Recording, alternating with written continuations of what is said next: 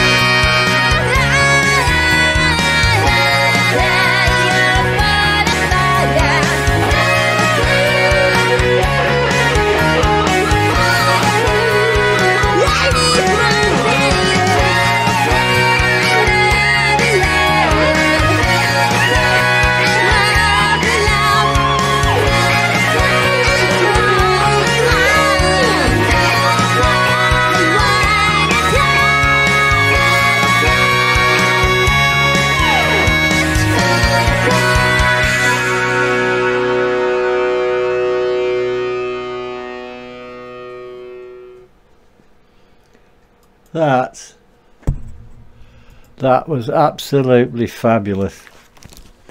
Absolutely fabulous. What a fun what a what a fun couple there. What a what a, great great great fun. That was just so much fun. And they did a great job of the song as well. She's got an interesting voice. It, it's sort of it is it's diff, definitely different. But blimey i don't know what all the pandas are doing there. I don't know. Um, now I bet they don't speak English because I'd love to interview them because I just think they'd be hilarious. I do because it's so that was so enjoyable, so enjoyable to watch. That was that was so well put together and so much fun to watch. That's just made my day. That has that was just so the whole thing, the way you know everything about it, the what they've done. It, it just it was just so much fun. And to me, that's what it's all about: entertainment value 10 out of 10 entertainment value. I had to laugh, you know, photograph, and there's the, the panda, and there's the markings around the panda, like, you know, like a murder. I'm flipping great, absolutely great. Things like that.